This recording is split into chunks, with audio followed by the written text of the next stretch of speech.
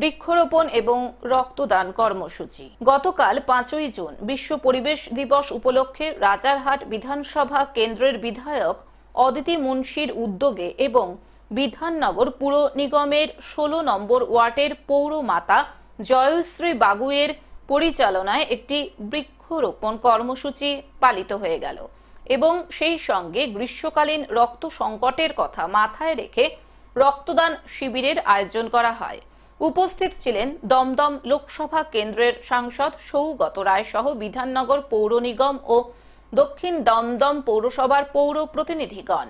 এই ব্যাপারে সৌগত রায় জানান, বিশ্ব পরিবেশ দিবসে বৃক্ষরোপণ এবং এই রক্তদানের মতো কর্মযোগ্যকে সাফল্যমণ্ডিত করার জন্য তিনি ষোলো নম্বর ওয়ার্ডের পৌর মাতা জয়শ্রী বাগুই এবং ওয়ার্ড সচিব সন্দীপ বাগুইকে ধন্যবাদ জানাচ্ছেন। পৃথিবীতে এই পরিবেশ রক্ষা করার সংকল্প নেওয়া হয়েছে প্লাস্টিক বর্জন এবং গাছ লাগানো এই। গুরুত্ব দেওয়া হচ্ছে।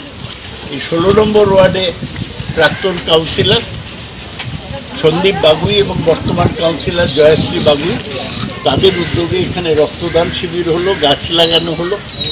একটা নতুন খালের পাশে একটা পার্ক উদ্বোধন করা হলো। বিধাননগর থেকে অনির্বাণ দত্তের রিপোর্ট গ্লোব নিউজ।